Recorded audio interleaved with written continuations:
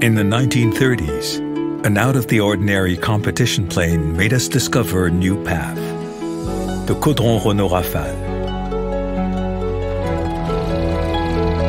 We wanted to know how far we could go.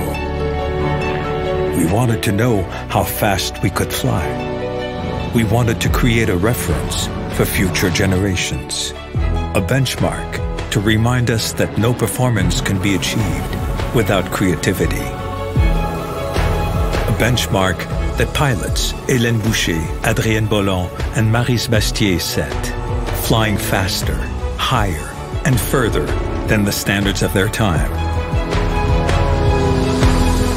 Today, this aerial inspiration leads us once again on a new path.